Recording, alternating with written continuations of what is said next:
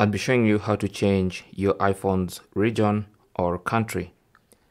Now, I'm using the iPhone 14 Pro running iOS 16, but these instructions should work on other iPhones as well. So go to settings.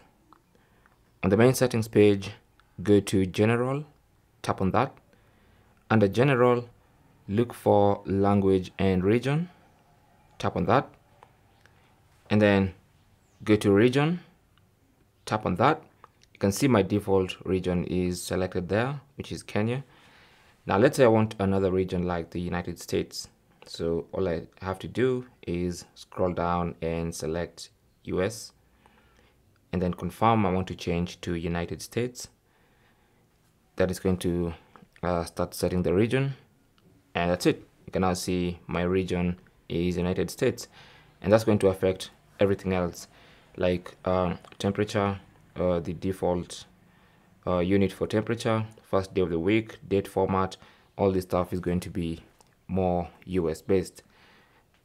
So my new region as you can see when you go to language and region is United States.